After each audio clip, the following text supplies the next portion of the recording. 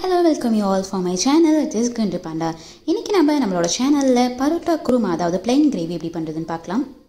பரோட்டா குருமா செய்ய தேவையான பொருட்கள் என்னென்ன நமக்கு பார்த்துடலாம். தக்காளி மூணு எடுத்து அதை நான் வந்து பெருசாக வச்சுருக்கேன். இதை நான் அரிஞ்சு ஆட் பண்ணிக்க போகிறேன் சின்ன வெங்காயம் கறிவேப்பிலை புதினா ஒரு ஹாஃப் லெமன் எடுத்திருக்கேன். கொஞ்சம் பூண்டு இஞ்சி வரமிளகாய் உப்பு தேவைக்கேற்ப அரைமுடி தேங்காய் எடுத்து வச்சுருக்கேன். இதை நம்ம அரைச்சி தான் ஆட் பண்ணிக்க போகிறோம் மல்லித்தூள் மிளகாய்த்தூள் தயிர் நம்ம தேவைக்கேற்ப ஆட் பண்ணிக்கலாம். மஞ்சள் தூள் ரீஃபைண்ட் ஆயில் இப்போது இதில் நான் அந்த பிளேட்டில் காமிச்சிருக்கிறது எல்லாமே நான் வறுத்து ஆட் பண்ணிக்க போகிறோம் அதெல்லாம் என்னென்னா பிரியாணி இலை ஏலக்காய் லவங்கம் பட்டை சோம்பு குருமிளகு ஜாதிக்காய். இது எல்லாமே சேர்த்து நான் அரைச்சி ஆட் பண்ணிக்க போகிறோம் அது எப்படின்னு உங்களுக்கு நான் காமிக்கிறேன்.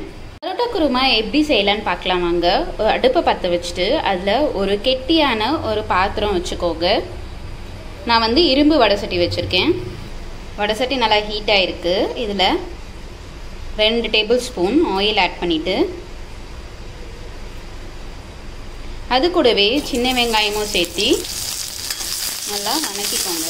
இது வந்து ஒரு லைட் ப்ரௌன் கலரில் வர வரைக்கும்.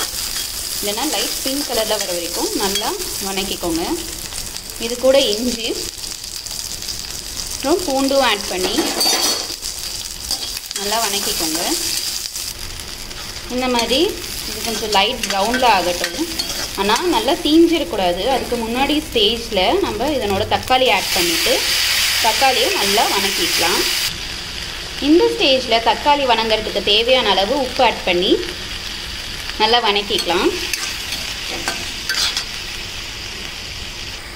தக்காளி வணங்கிட்டு இருக்க ஸ்டேஜில் நம்ம இன்னொரு அடுப்பில் சின்ன வானலி வச்சு அதில் மிளகாயை நம்ம வேக வச்சு எடுத்துக்கலாம். வானலி இப்போ காஞ்சிருச்சு. இது கூட நம்ம தண்ணி ஆட் பண்ணிக்கலாம். ஒரு டம்ளர் தண்ணி ஆட் பண்ணிவிட்டு இது கூடவே நம்ம எடுத்து வச்சுருக்க வரமிளகாய் ஆட் பண்ணிக்கலாம். வரமிளகாய் நான் வந்து ஏழுலேருந்து எட்டு வரமிளகாய் எடுத்திருக்கேன். இது நல்லா சூடாகி நல்லா ஒரு கொதி வரட்டும். இப்போ இந்த தக்காளி நல்லா வணங்கியிருக்கு. இந்த ஸ்டேஜில் வணங்கியிருந்தால் போதும். இதை நம்ம மிக்சியில் அரைச்சி தனியாக எடுத்து வச்சுக்கலாம். இப்போ இந்த தண்ணி நல்லா கலர் சேஞ்ச் ஆகிருக்கு பாருங்கள் இப்போ இது வெந்திருக்கு ஒரு கொதியில் இதை நம்ம தண்ணியாக எடுத்து வச்சுக்கலாம். இப்போ நம்ம இந்த ஸ்பைசஸ் எல்லாத்தையுமே வறுத்து எடுத்துக்க போகிறோம் அதுக்கு ஃபர்ஸ்ட் கடாயை அடுப்பில் வச்சு அது நல்லா ஹீட் பண்ணிவிட்டு அது கூடவே ஒரு ஸ்பூன் எண்ணெய் ஆட் பண்ணிக்கிறோம். இதனோட நம்ம இன்ஷன் பண்ணியிருந்த இந்த எல்லா ஸ்பைசஸையும் போட்டு நல்லா வறுத்துக்கோங்க. இது வறுக்கும் போதே லைட்டாக வெடிக்கும். ஸோ அதனால் கொஞ்சம் கேர்ஃபுல்லாக பண்ணுங்கள் இது கூடவே கருவேப்பிலை புதினா நம்ம வேக வச்சு எடுத்து வச்சுருக்க மிளகாயும் நம்ம இது கூட சேர்த்து நல்லா வறுத்துக்கிறோம். நம்ம வறுத்த இதை எல்லாத்தையுமே ஒரு மிக்சி ஜாரில் ஆட் பண்ணி கொஞ்சமாக தண்ணி சேர்த்து ஒரு பேஸ்ட் மாதிரி அரைச்சி நம்ம எடுத்து வச்சுக்கலாம். வேக வச்சிருந்த மிளகா தனியும் வேஸ்ட் பண்ணாமல் நம்ம இந்த கலவையோடவே சேர்த்து அரைச்சி இந்த மாதிரி ஒரு கன்சிஸ்டன்சிக்கு நம்ம அரைச்சி வச்சுருக்கோம். எல்லாமே தனித்தனியாக எடுத்து அரைச்சி எடுத்து வச்சுக்கிட்டோம். இப்போ நம்ம ஸ்டவ் ஆன் பண்ணிவிட்டு அதில் ஒரு கெட்டியான கடாய் வச்சு அதில் ரெண்டு ஸ்பூன் ஆயில் ஆட் பண்ணிவிட்டு அதில் அது கூடவே நம்ம அரைச்சி வச்சுருக்க இந்த விழுதையை ஆட் பண்ணிக்கிறோம்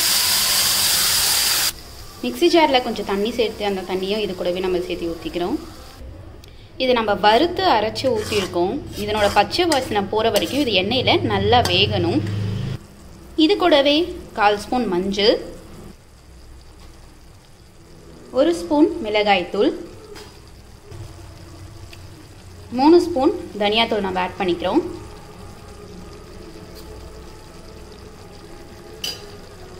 ஆட் பண்ணிவிட்டு இதை நம்ம நல்லா கலந்து விட்டு வேக வைக்கலாம்.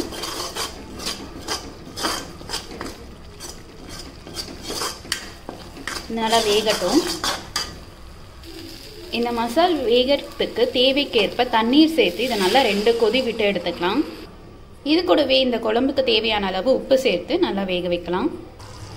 இப்போ இது நல்லா கொதி வந்துட்டு இருக்கு. நம்ம வரமிளகாய் அப்புறம் குறுமிளகு எல்லாமே சேர்த்து அரைச்சதுனால இது நல்ல காரம் வரும். அதனால் உங்களோட எக்ஸாஸ்ட் ஃபேனை ஆன் பண்ணிடுங்க இல்லைனா உங்களோட வீட்டு ஜன்னலை திறந்து வச்சுருங்க. காரம் ரொம்ப அதிகமாக வரும் இது சமைக்கும்போது. இப்போ இது நல்லா கொதிச்சுட்டு இருக்குது இந்த ஸ்டேஜில் நம்ம அரைச்சி வச்சுருக்க தக்காளி வெங்காயம் விழுது ஆட் பண்ணி இது நல்லா கொதிக்க விடலாம்.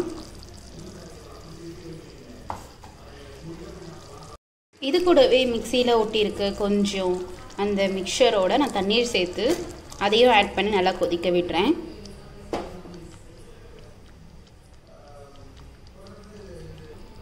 இப்போ இந்த குழம்பு டென் மினிட்ஸ் நல்லா கொதிச்சிருச்சு.